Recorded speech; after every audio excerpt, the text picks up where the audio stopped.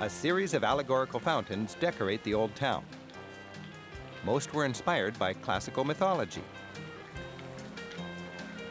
This one, featuring Julius Caesar, is dedicated to the legendary founder of the town. The modern Turtle Fountain is a popular meeting place for young mothers and a fine place to watch toddlers enjoy the art.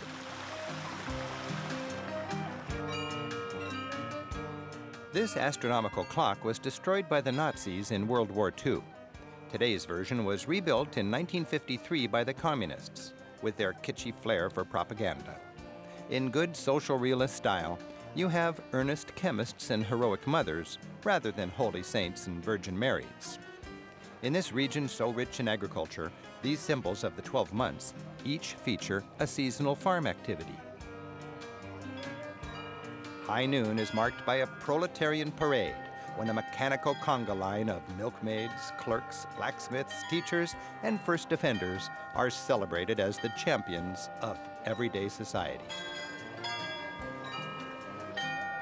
As with any full-service astronomical clock, there's a wheel with 365 saints, so you'll always know whose special day it is. And this clock comes with a Moscow-inspired bonus. Red bands splice in the special days of communist heroes.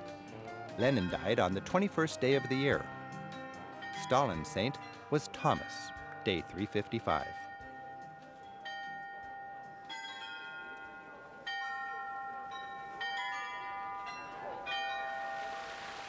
We can't leave Olomouc without experiencing one of the city's greatest attractions.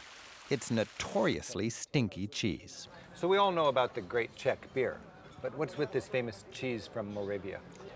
Well, the Olomoucké tvarůžky. Yeah. well, it's the stinkiest cheese in the whole country. and uh, Really? if there's one thing you associate with Olomouc is this cheese. My mom, who comes from this region, when I was a kid, when she would start eating this at home, me and my dad would just clear out the kitchen. So the the thing that makes this cheese is the way it ages. It ages on a aged meat. So the meat itself has to be aged to age this cheese. And then you have to age in order to learn to like this cheese.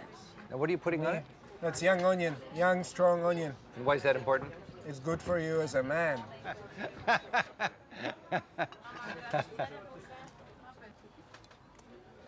Stings, but it's good.